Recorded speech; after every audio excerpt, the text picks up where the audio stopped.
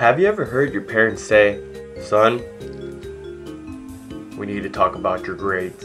Or, The hell the be? The hell the be burning? You're not my son anymore. That's all that. you're feeling just like, oh man. So, we're gonna talk about how to get good grades in college. I mean, some people think Asian people got this magical thing where it's like automatically, oh, we get an A. But nah, that's not true for me, but I heard some other people got that magic. Let's get started. Make sure you have your textbooks by the first or second day of class. Yeah, I don't need my books yet. Yes, you do. Open up your book either the first or second day of class. Who studies on the first week of school? Ignore them. If you are assigned a reading or anything, read the first 10 or 15 pages. Start assignments early. Oh hell nah. My professors be doing way too much. Well, I'm sorry, there's nothing I can do to fix that. Start brainstorming for an essay, start coming up with the thesis within the first two days after the assignment was given. Begin forming an outline as soon as possible. No party, but it's the first week of school. It's rush week.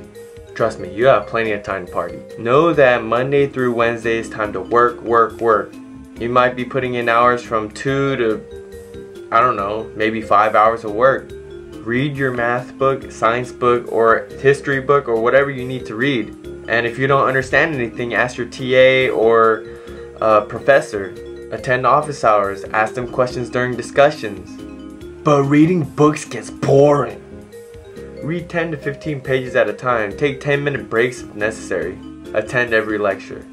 But the Asian frat is having a Korean barbecue during my econ class. I gotta make it. Well, I'm sorry you gotta ask your friend to get it for you and go to class. Do at least an hour or two of work during Thursdays, Fridays, Saturdays, and Sundays. Well, maybe not Sundays. Man, I'm tired of this. When can I party? Yeah, you have plenty of time to party.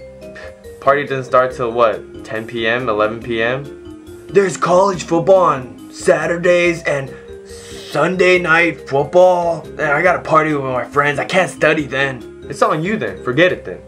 Nah, I'm just playing. The average amount of times you study is 2 hours per unit. If you have 14 units, try to study 28 hours a week.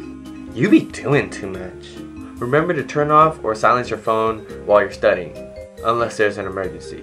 If you follow all these steps, I guarantee a 3.0 to a 3.5 cumulative GPA. You can party all weekends and have time to do extracurricular activities. So, uh, when can I go to the gym?